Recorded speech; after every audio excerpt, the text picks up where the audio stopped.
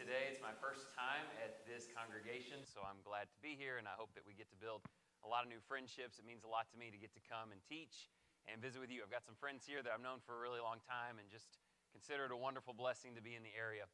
Uh, San Antonio is kind of special to, to me. I've been married, November will be 25 years if the Lord allows it, and we had our honeymoon here in San Antonio, so it means a lot to us, and we visit a lot. Uh, one of my best friends in the whole world, David Osteen, preaches at the O'Connor Road Church not far from here. So we visited and spent some time with them. And it's just really a wonderful thing. And as long as we're in Texas, we're good. I mean, every place in Texas is good. And we're just thankful to get to study God's Word together. Some of what we'll be doing this week, we don't get very long. Four days is not long. It'll be when, if you hate this and me, four days will be like that, and I'll be gone. Four days go really, really fast. We get six lessons together. And what we're going to be building towards is this very simple concept called missions of mercy. This basic idea that the Lord saved you for a purpose. And if you're saved and you're still here, there has to be a reason bigger than yourself.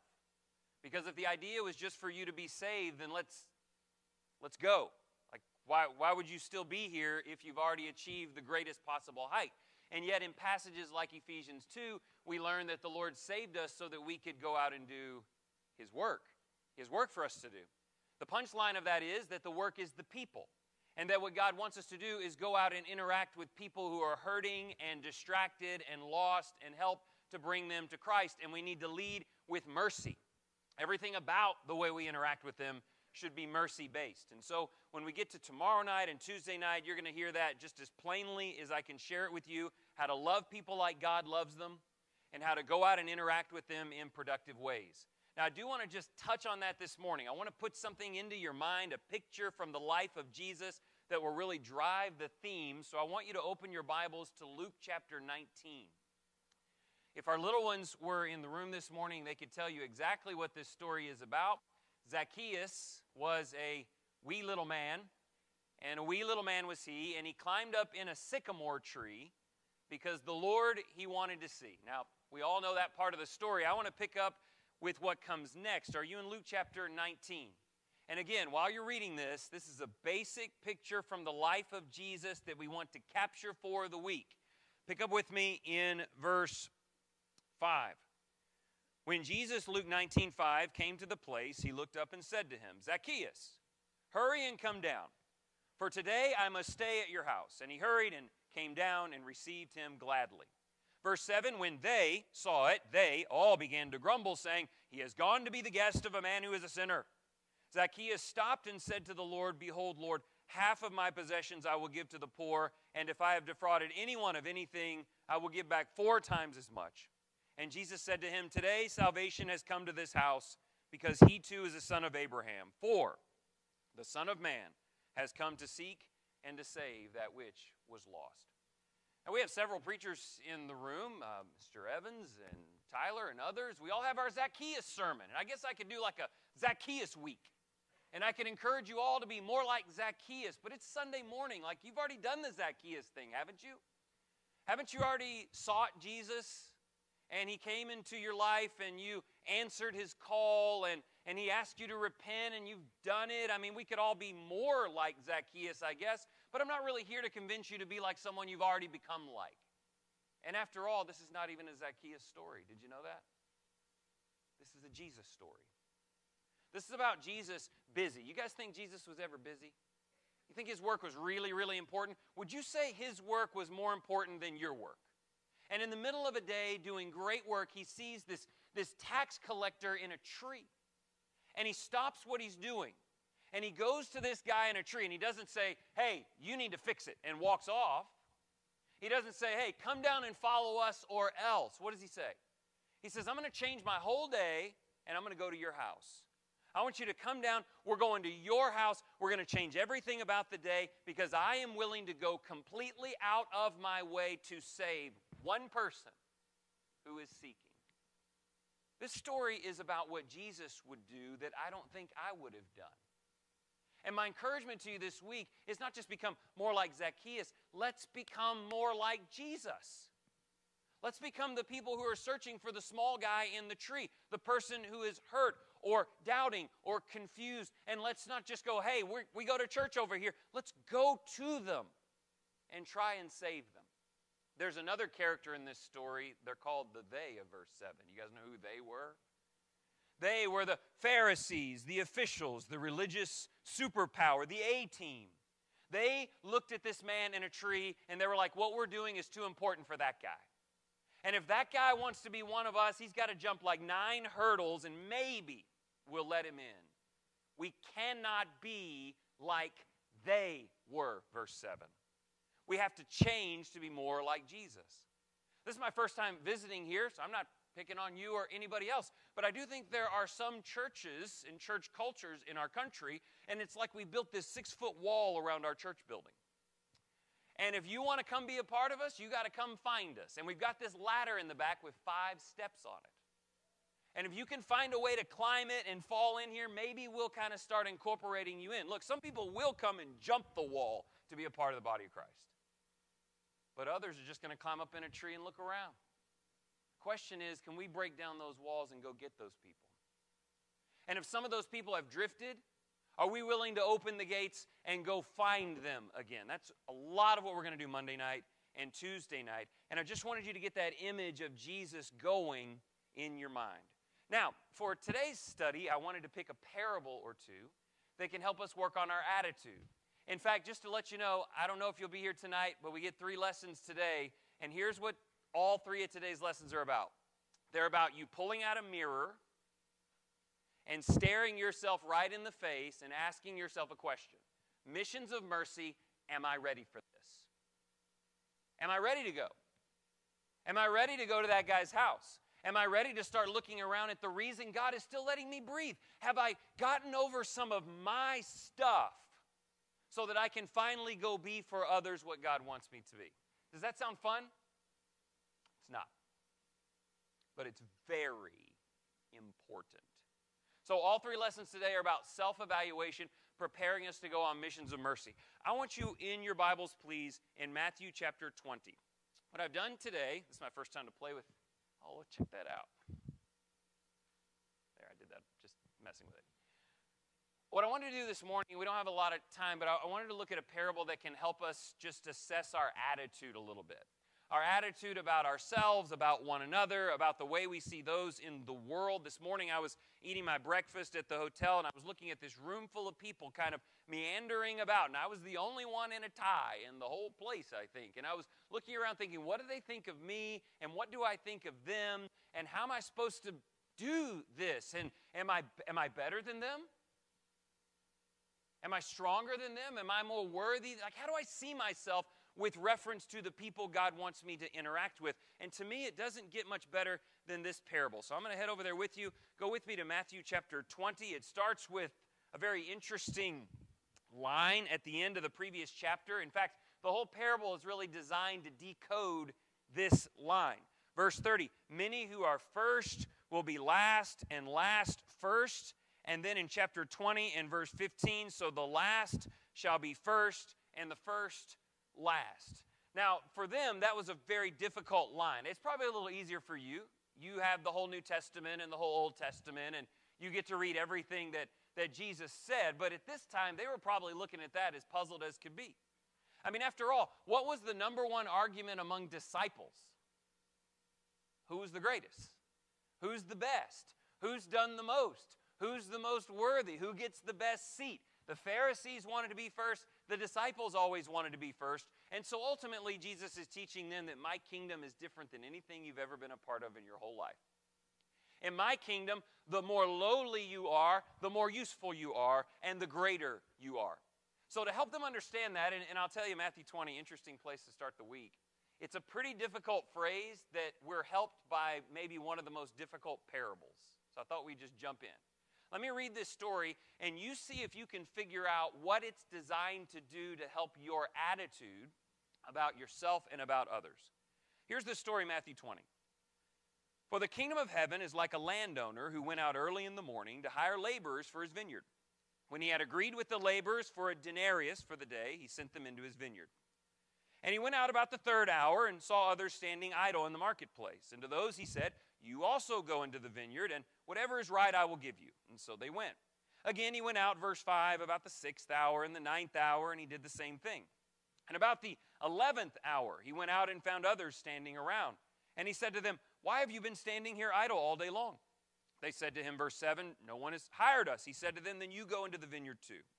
When evening came, verse 8, the owner of the vineyard said to his foreman, Call the laborers and pay them their wages, beginning with the last group to the first. I'm reading from the New American Standard Version.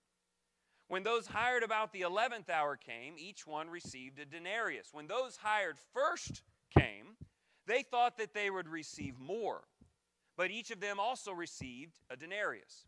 When they received it, they grumbled at the landowner, saying, These last men have worked only one hour, and you have made them equal to us, who have borne the burden and the scorching heat of the day.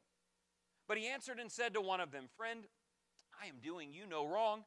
Did you not agree with me for a denarius? Take what is yours and go, but I wish to give to this last man the same as to you. Is it not lawful, verse 15, for me to do what I wish with what is my own, or, or is your eye envious because I am generous? So the last shall be first, and the first last. I don't know if that helped very much. That's a tough parable. That parable may be even more challenging than the line that he's trying to explain in it. And one of the things about this parable that's always given me fits is that it doesn't look anything like the kingdom to me. You know, if I took you to the book of Romans to read about the kingdom, would it tell you that here's how the kingdom works? You guys ready? You want to be in the kingdom? You work all day and you get paid what you deserve. Is that what the kingdom's like? Romans 4, it says the opposite of that. It says the, the kingdom and the blessings of God's righteousness are not as a result of works. You don't work 12 hours, 12 years, 12 whatever, and then get paid. And in fact, in Romans 6, if at the end of your labor, yours, God lined us all up and He said, you know what, I'm going to just go ahead and pay you what you deserve for your work, what would you get? I would get incinerated. I would get nothing. So, why, Jesus, did you build a story that you, you changed and you altered a bit on purpose? You told it in a way that is not like the kingdom. Why did you do that? And here's why I think Jesus did that because that's the way they saw the kingdom. They saw the kingdom as I put in the most work, I deserve the most reward. I've been here the longest, I should establish some sense of superiority. If you haven't done what I have done, then you have more to do than I do. And it shouldn't be equal because I've done so much. It's a terrible concept for Christians because it elevates us. And probably the reason that he's telling this is that's the way they think. And I wish I could tell you that nobody in the church thinks like that.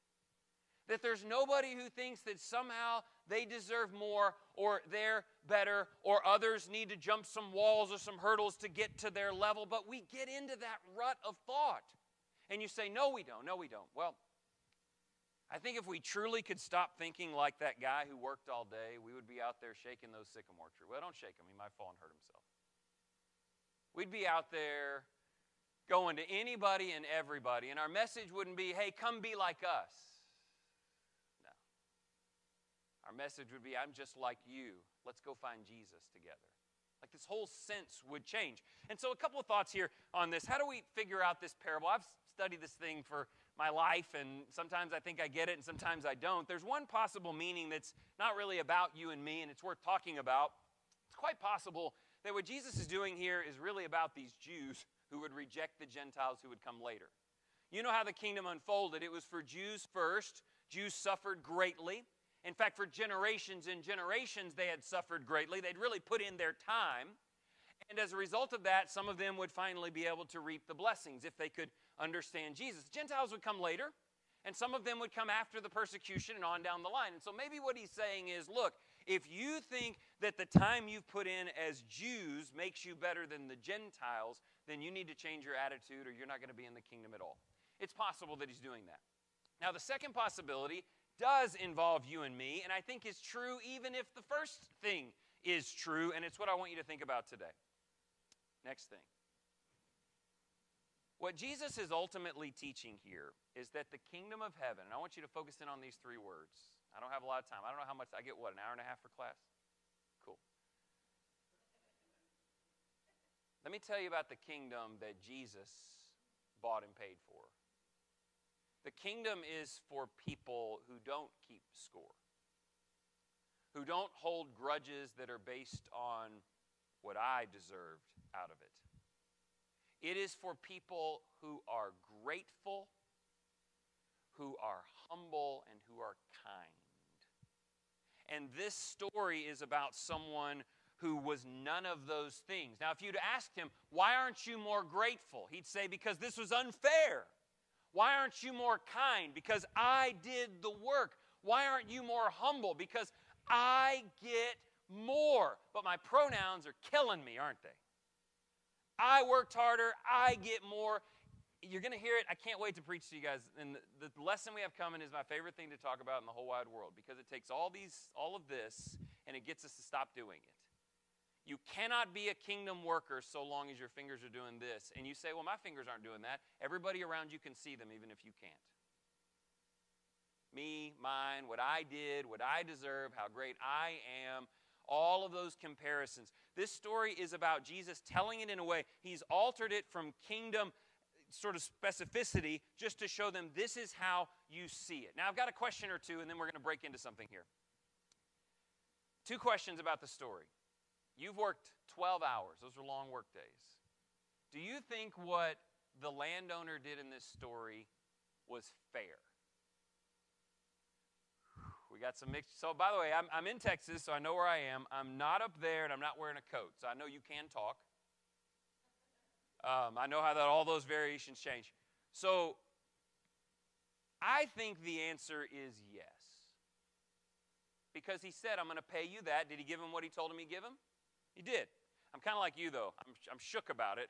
But I'm going, he gave him exactly what he said he was going to give him. If he wanted to give the five o'clock guy who worked one hour a full day's wage, could, does he have the right to do that? He does. So, in that sense, it was all very fair. But that's not my real question. My real question is would you like it? I would not like it. If I had worked all day and these guys are just sort of filing in afterwards and I put in the time. I mean, the last guy like barely had a chance to learn a couple of names and he got the same amount that I got. I don't think I would like it and I don't think you would like it. There are a few people in the room right now going, I'd be perfectly fine with it because I just love that everybody got loved. And I love that blessings pour forth into everyone's life who is richly blessed by grace. I'm not making fun of you. I want to be more like you. I want to think like you and feel like you and converse like you with people who are in the church and who outside of church. I want to be more like you. But most of us are not so much like you. So here's what I want to do for a few minutes in this story. I'm going to make three changes. You know, Jesus kind of altered it from accurate kingdom registry to kind of emphasize their scorekeeping. I'm going to make three changes to this story. And I believe that any one of these three changes would make you okay with the way things turned out. It was fair from the beginning, but I think I can help you like it. Three changes we're going to make. Here's the first one. And by the way, keep these three words in mind because the three points relate to the three words. Number one, what if you weren't working 12 hours for a full day's wage. I mean, everybody here has done that. Maybe you worked all day for a full day's wage. What if somebody came to you and said, I want you to work 12 hours and I'm going to give you a silver case with a million dollars in it? Now, you should not believe them. And I would suggest if somebody says that to you that you don't. But for some reason, you did. You believed them. And you went to work at 6 in the morning. And all day, what are you thinking about all day? This can't, this can't be real. This, this can't work out. But somehow you have this thing we call faith and you decide to do it. And so you work all day. And so after at 9 o'clock, they hire a guy. At noon, they hire some guys. And at 3 o'clock, they hire some guys. And at 5 o'clock, they hire some guys. And so you're getting to the end of the day. And what are you still thinking? Maybe, maybe, maybe this is real. My life's about to change. And so the, the 5 o'clock guy is getting paid first. And out comes a silver case with a million dollars in it. He's been there an hour. Okay. What are you thinking at that moment? There is someone in the room right now doing the math, going, I'm about to get $12 million. And while that may make you giggle just a little bit, if you're that person, this week is for you. Because there's something in there that needs a little bit of work. You see what I'm saying? If I'm watching this, I'm going, eh, this guy gets a million, and this guy gets a million, and this guy gets a million, and this. What am I thinking? I'm thinking, give me one more case. Come on. Tell me you got one more back there. I am so grateful for what I'm about to receive that I didn't earn, that I don't deserve, that's so far beyond fair that the fact that other people are getting it just excites me to the possibilities that I may get it because they're not worthy, and guess who else ain't worthy? This guy. And you get the case and it has a million dollars in it and you celebrate. How many of you go out in the parking lot and go, okay, guys, everybody rally up? Uh, that was not properly and equitably dispensed. Let's create a little sump fund here and let, no, we don't do that. We celebrate. Now, while that is not the way Jesus told the story, if you would go with me to 1 Peter chapter 1, it is an accurate telling of what it means to be a Christian. In 1 Peter chapter 1, chapter 1 and verses like it, we learn that when you found the grace of the Lord, he promised you riches beyond anything you'll ever deserve. He promised you an inheritance that is totally unfair and yet He's going to give it to you by His grace. We are blessed beyond any measure. And until we're walking around just grateful to be a part of it, we'll always keep score. And it'll always be about winning and what we perceive to be fairness. I love this whole text, verse 3. Blessed be the God and Father of our Lord Jesus Christ, who, according to his great mercy, has caused us to be born again to a living hope through the resurrection of Jesus Christ from the dead. To obtain, let me tell you, an inherit, forget the million dollars, that's nothing. That's just a silly piece of a made up story. We can do way better than that. To obtain an inheritance which is imperishable and undefiled and will not fade away, reserved in heaven for you who are protected by the power of God through faith for a salvation ready to be revealed. He said, verse 6, it might be tough. You might have to go through some trials. It may not be easy. Your workload may be different than someone else's workload. You may have to put in more. You may suffer more, but it's not going to matter. Because no matter what, it's just going to be a proof of your faith being more precious than gold, which is perishable, even though tested by fire, may be found to result in praise and glory and honor at the revelation of Jesus Christ. Can we do two more verses? And though you have not seen him, you love him. And though you do not see him now, but believe in him, you greatly rejoice with joy inexpressible and full of glory, obtaining as the outcome of your faith the salvation of your souls. Now, I'm sorry, but I use my hands a lot and I can't stop. Look in verse 9. Is it obtain as the outcome of your faith the salvation of your souls? Is that the way we should, if I was going to use hands for that, Reagan, is that the way I would do that? I go, no, I would say you would receive as the outcome of your faith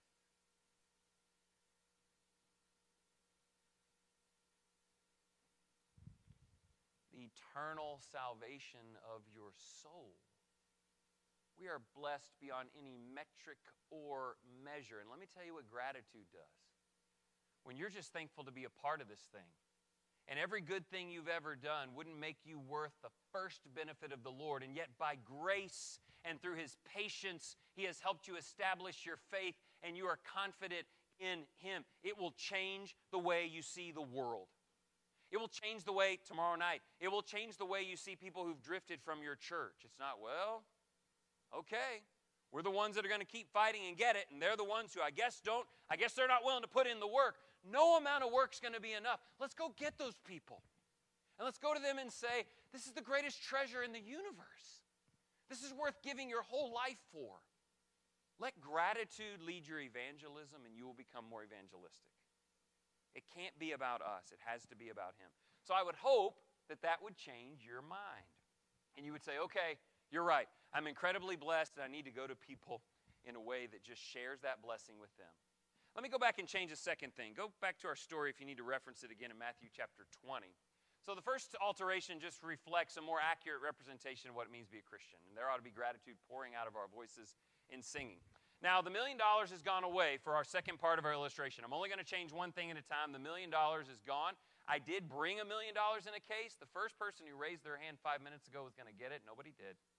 I'm taking, no, there's no million dollars. It's gone. But I don't even need to offer that in this story to change the way you would feel if you'd worked all day. Can I change something else? And this would be accurate to very much what Jesus was trying to infuse in the story. What, what if what if you knew and loved everyone else in that line? I know you've worked the hardest. I know you've done the most. I know you're the A-lister, the, the super committed person. You've been a Christian this long. You've been through this month. You've this much. You fought these battles. You've worked the 12-hour day. But what if the guy who got there at 5 p.m. was one of your best friends in the world?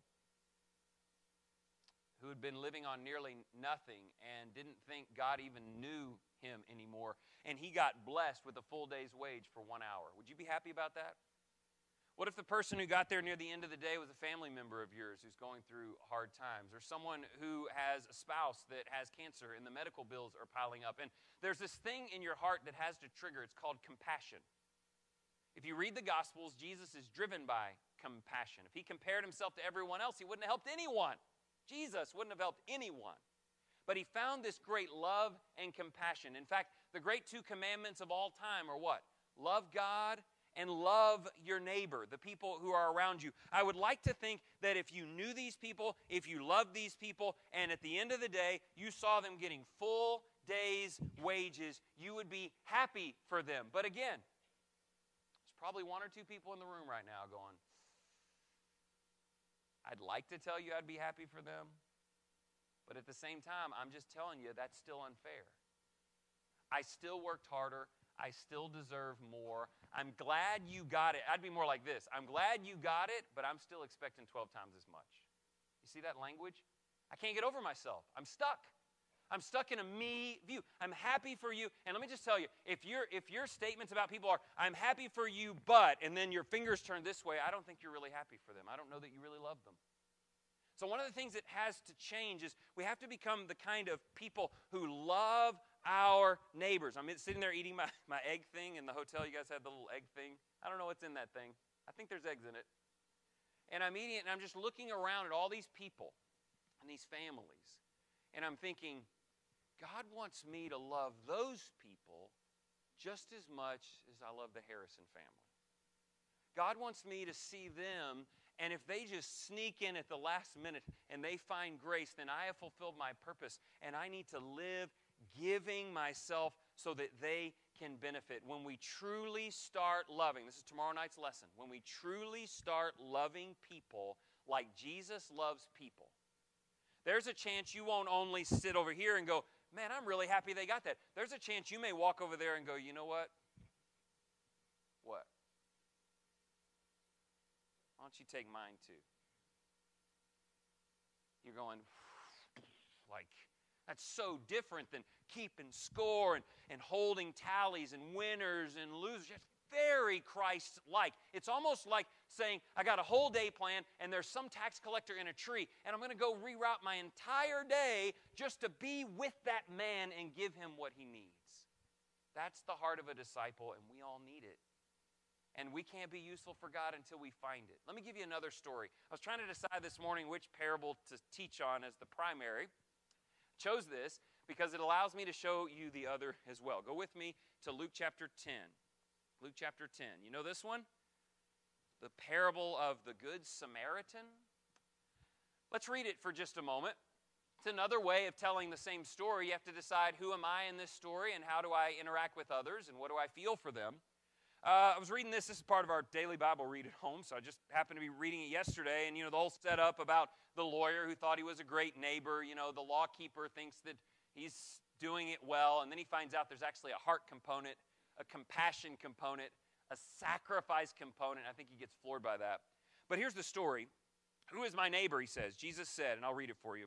A man was going down from Jerusalem to Jericho. He fell among robbers. They stripped him, they beat him, they went away, leaving him half dead. And by chance, a priest was going down on the road. And by the way, I always imagine that the priest was on his way to church. He's going down on that road, and when he saw him, he passes by on the other side. He's got places to go. Likewise, a Levite also, when he came to the place and saw this guy, he passed by on the other side. He's a very busy man. But a Samaritan, who again in the story is kind of the guy you would least expect it from, but a Samaritan who was on a journey came upon him, and when he saw him, what's the first thing that it says? He felt compassion. You see that? He felt compassion. It's about love for others. Well, what did he do with that compassion? Well, he came to the guy and he bandaged up his wounds. He poured oil and wine on them. He put him on his own beast. He brought him to an inn. He took care of him. On the next day, he took out two denarii. There's your denarii part of the story. He took two denarii. That's two days' wage. Gave them to the innkeeper and said, Take care of him, and whatever more you spend, when I return, I will repay you. Which one of these three do you think proved to be a neighbor to the man who fell into the robber's hands? And he said, The one who showed, and I love this word, I'm in love with this word, I'm trying to redefine my life by this word. The one who showed mercy toward him. Jesus said, Go and do the same. It's not just go out and be great and keep the rules and do well. It's not about establishing yourself. And that's really kind of tough on us because going to worship is commanded. It's important that you come to church. It's important that you're consistent in worship and, and worshiping the right ways and doing all those things. But you know, you're not like mounding up credit, right? I mean, you get that. Just give me a little nod that goes, I get that. Some of you are going, could you restate that for my thinking? Not mounding up any credit here. You're supposed to be fueling up so you can go out and love people. I don't know. It's like we just stay at the fuel station and get like extra tanks and just keep going. Look at all the tanks I've start, started up of like churchiness. What are we doing? We're trying to win. We want to be the best. We want to establish ourselves. Don't stop this, but stop that. We've got to be the kind of people who are looking to pour it out in love. Uh, now, it's a very interesting parable to me because there's three categories of people in the world. You can, you can take in anything and you can say there's three categories of people in the world. There are three categories of people in the world, and they're all in this story. I'm talking about Luke 10. Number one, there are takers. You guys know about takers? Takers think what's yours is mine. They steal, they rob, they don't care if they hurt you, they don't care what happens to you, they just want what they want. They're a small sliver of the world we live in. I believe it's a pretty small sliver. But they are the robbers in the story. The robbers take, they leave you half dead. They don't care how they leave you. There are no takers in the room today. I suspect, I mean, we could, you could come forward now if you are. But I don't think there are. But in this world, there are takers. On the other end of this world, there's a fairly small sliver of people called givers. Givers are the Samaritan. He's not even supposed to be around there. Most people wouldn't even talk to him. He's a Samaritan traveling through Jewish territory, and he sees this guy. Givers feel compassion. They're, pro, they're not keeping score. They just want to give, they want to help, they want to support. They feel like the fulfillment of, of being a Christian is actually being like Jesus, which I think is so noble and kind of like duh. And they give, and they give to the Lord. And you know, there are people in this room like that. And but we're not all naturally like that. Is that a fair statement? We all need to be like that. We're all not naturally like that. And in the middle, as large as this table, is this huge middle category that I naturally fit in called keepers. I'm a keeper. I'm a, hey, I'll pray for you, but I'm going to keep what's mine. I worked hard for it. God gave it to me. It's a blessing in my life. I'm going to put it in my savings account. I'm going to put it in my Apple stock. I'm going to do my thing. This is God giving to me. I don't, I'm not going to steal from the guy in the ditch. I'm not going to go, let's see if he's got anything left in there. Like, I'm not that guy. But you know what? God will handle that guy like God has handled me. And my predisposition is to be a keeper. This guy says, What's yours is mine. This guy says, What's mine is yours. This guy says, Hey, what's mine is mine. What's yours is yours. That's my predisposition. That's the guy that you have preaching for you this week. I'm sorry for that. But I tell you what I'm working on every day. I'm working on being more like that guy. Because I don't think Jesus said, I forget, help me if I misquote this. I always try to quote scripture accurately. I think it said, many will be saved and few will be lost. Is that the way, it's, is that the way Jesus said it? Did he say, I'm going to kick out those takers, I'm going to save everybody else? He said, few. Few will be saved. Many will be lost. I've got to stop being a keeper Start being a giver. And you can't get there without compassion. Can't do it. And love and gratitude. The kingdom is for the grateful. I'm blessed with countless riches in the Lord that I don't deserve. With kindness towards others. And then lastly, as we get down to this, with, um, with humility. All right, so love for others. We'll build. A, let's put a placeholder in that. We'll build on that tomorrow night. I'm going to make one more change. Go back to our story in case you need to take a peek at it. Go back to our story. It's in Matthew chapter 20, but we'll, we'll talk about it. You see what goes on there. Third thing that we could change in this story, and I, I hope you'd be okay with it. the way I told the story and the way Jesus told the story, because he was addressing these scribes and Pharisees and arrogance and stuff, is it made it look like you were the 11th hour person. But what if you're not? Question Does the story change if you're not, I mean, the all day person? It was pictured as if you were the all day person. Does the story change? I mean, so far I've pictured it as if you and I were over here, the valiant workers. We've done so much. I mean, look at this tie. It's well tied. We are pros at this.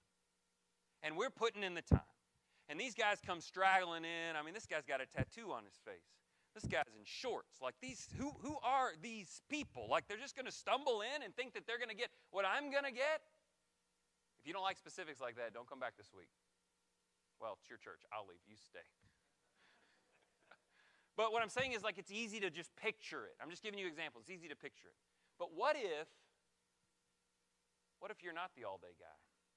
What if you were the one who got brought in at 5 p.m.? Or how about this? I always picture myself as a 559 guy. You hear me? I didn't go through the persecutions of the first century. I haven't labored through the martyrdom of the hundred years that followed. I just Somebody, my parents taught me the gospel and I believed it, and my whole life has been blessed by the grace of God. Like, I'm a 559, I'm in Christ for one second. And he says, Heaven, million dollars, eternity, and glory. Does the story change? Because if I was hired at 5 p.m. and I showed up and I'm like, he's not going to give me a full day's thing for just for just an hour, and, and he he said, here's your day's wage. How do you think I would feel? I'd be elated. This is amazing. I've been here an hour. I don't deserve any of that. But what would it mean to me? Stick with me. What would it mean to me if I'm going, this is the most, this is the, this is the best thing I think it's ever happened to me? I've been here an hour. And I look down at all my fellow workers and they're scowling at me. Remember those guys from the opening of our story? They're down here going, that's not fair. That's not right. And, and like they don't really have a case, but they do treat me differently because they're better than me. Like there's a chance that, that all I want to be is encouraged. What ought to happen is everybody on that row ought to come and give me the biggest hug it's ever been given. You just got blessed beyond even us, and we're excited for you and thankful for you. Because I don't know how you saw yourself in this story, but I got news for you. There's not a person in this room who's the all day worker, who's put in the most work to receive the greatest reward. And what I'm talking about is this thing called humility. You say, well, I don't know, Kris. I mean, if you really get down to it, age and experience and commitment to God and battles fought and sacrifices made, there are probably people here who put in a little more work than the other. I'm not going to disagree with that. But I would like you to go to 1 Timothy chapter 1, please. Is that five minutes? 1 Timothy chapter 1. We'll get into this tomorrow night as well, so I'm just going to see if I can find it. 1 Timothy chapter 1, Remember the Apostle Paul? I would think the Apostle Paul would be like a 12 hour guy. I mean, is it getting any better than the Apostle Paul? If anybody had a right to elevate themselves or make people try to be more like them or throw their authority around, wouldn't it have been him? Paul was the all day best worker, maybe, of the bunch, and he never pictured himself as anything more than a guy who slipped in at the last second. You feel that? Let's read it. I thank Christ Jesus our Lord who has put who has strengthened me because he considered me faithful, putting me into service. Let me tell you about me. I was a formerly a blasphemer and a persecutor and a violent aggressor. I was the worst. Yet I was shown, there's our word, mercy, because I acted ignorantly in unbelief. And the grace of our Lord was more than abundant. With faith and love which are found in Christ Jesus, it is a trustworthy statement deserving full acceptance that Christ Jesus came into the world to save sinners, among whom I am foremost of all. Yet for this reason, I found mercy so that in me as the foremost Jesus Christ might demonstrate his perfect patience as an example for those who would believe in him for eternal life. Now to the king, not me, to him, eternal, immortal, invisible, the only God, be honor and glory forever and ever. Amen. Right, you're going to have to hear all that again tomorrow night, this text. But even though he had a right to throw his weight around, he approached every new city saying, Look at me. I am the worst. I am the least. If hell was made for anyone, hell was made for me. But God saved me. It's unbelievable that God allowed me in. If God can save me, I know God can save you. Folks, that's powerful evangelism. You're going to hear it again tomorrow, but if at any point the person you're talking to thinks you're here and they're here, the conversation is over. You can keep talking if you want to, but nobody's listening. Paul came in like this humble to the core and grateful, and he lifted people up from beneath them. That's the way it works. Hey, uh, quick last story. I have three minutes. I think it's a three minute story. It's perfect. I was reading a book. Uh, some guy gave me a book on neurological. I can't remember the name of the book. I was not going to read that book. Had a big brain on it. And he said later, Did you read the book? I said, I'll take a look at the book. So I read the first chapter, and it was about a guy in Chicago. I ended up reading a little more later, but the first chapter was the hook. There was a guy in Chicago, the author of the book, who was going to dinner at a swanky place in downtown Chicago, Illinois. And there was a homeless man there on the side of the road with a, with a jar begging, and, and he had a sign, and the sign says, um, Hungry, please help. And people were just passing the guy by. Nobody was helping the guy. He's the guy on the side of the road, everybody's got places to go. And so the man walked by and he stopped and he said, You know what? I'll make you a deal. I'll put five, my numbers, I think this is what it was. I'll put $5 in your can right now. You're hungry, I will help you. But if you'll let me alter your sign a little bit, just change your sign a little bit, then I'll go to dinner, and in an hour and a half, when I come out, I'll give you, I think, $20. So he's homeless, but he's not dumb. So he said, I'll take that deal. I mean, $5 for $20. So he gives the man the sign. The man who wrote this book turns it over, changes the words, puts it in, and he goes in, and he comes out. And true story, he said, When I come out to give the man the rest of the money, the man gets up and hugs me and says, I'm so thankful for you. You've completely changed my whole night. And he actually gave me $10. He said, I made $5 off a homeless guy for consulting. And it was something about the way he changed the way they saw that guy that changed the way everybody interacted with that guy. Would you like to know what was on that sign? Well, time's up. All he did was turned it into the form of a question. Instead of hungry, please help. And people were going, not hungry, hungry, got places to go. He turned it over and he wrote, What if you were hungry? Hmm. So now I'm walking by and I see that person, and I don't just see that person, I actually see who? I see me. I go, what, what if I was hungry? Some people probably walk by, this is Chicago, right? Things change fast there, and said, That was me. Somebody helped me and changed my life. When people saw themselves, humility, when they saw themselves in the place of this man, and when you couple that with an actual compassion for the man, people will go to the world's ends to help him. Here's the thing it's not fictional, folks. Your neighbors, the people you work with, the people who are in the lobby with me today, the people who've drifted from the church, we're going to talk about all that this week. This isn't theoretical. Yes, they're in the spiritual ditch, but that is where you were. And in some ways, in terms of worthiness, it's where we're always going to be. Has somebody shown you mercy? Somebody lifted you up beyond what you deserve? Feels great, doesn't it? Go and do what Jesus taught us. And it'll change the world in His name. Thank you guys for your good attention.